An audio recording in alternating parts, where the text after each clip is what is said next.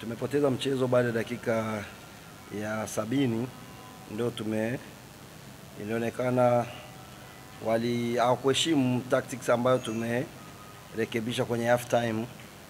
Ikaonekana kwamba maeneo spaces zilibakia kubwa, ile kupoteza mpira Simba ikaitumia ile chance ambayo ilipata kutokana na maeneo ambayo tuliacha makubwa makubwa yako uwazi. Simba ikaitumia ile nafasi na wakaweza kupata goli la kwanza na wakapress na dakika mbili baada ya nani wakapata goli la pili. Eh, kwenye dakika sabini sabini na mbili goli zinaingia zinafuatana na kwa hiyo ni indiscipline tactics ambayo wamefanya wachezaji na tukapoteza mchezo na Kocha, kama sijakosea, ni michezo miwili mfululizo hamjapata matokeo, labda mipango yenu sasa iko mipango ni kuendelea kupambana, ni kwamba lazima tupambane ili tuhakikishe timu inakaa pazuri, ndio mipango yenyewe. Na, na kwanza taktiki tulicheza na masreka wawili, labda yule wa kumsaidia Ilamfia ndio alipoteza nafasi yake akarudi sana nyuma, Hassan Kapalata, na tukamwambia pana, wakati huo utasogea nyuma, sasa itaonekana timu iko nyuma, tutawakaribisha karibu na goli letu, maanake tunakaribisha mashambulizi. Kumbe sogea, tuwe wawili ambayo wenyewe tuna press.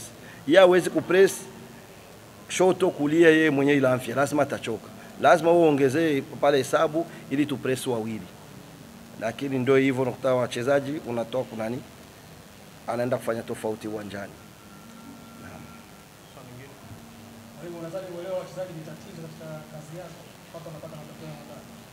Hapana, mi nafikiri ni kasoro ni ndogo ndogo ambazo tutarekebisha, nategemea baadaye timu itakaa pazuri tu inshallah. Naam, unaona kitu kinasumbua, mechi zinafatana, alafu majeruhi ni wengi.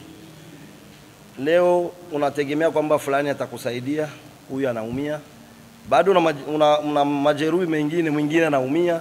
Kwa hiyo inakuwa kwamba mechi zina- zinasogeleana, mechi zinakaribiana.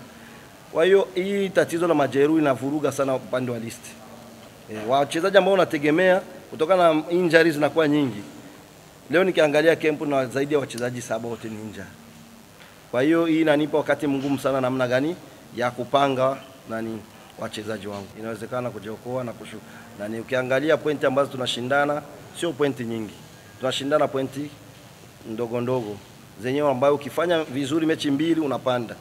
Ukipoteza mchezo unashuka. Kumbe kama tutafunga mechi tatu za kufuatana tunaweza kukaa pazuri.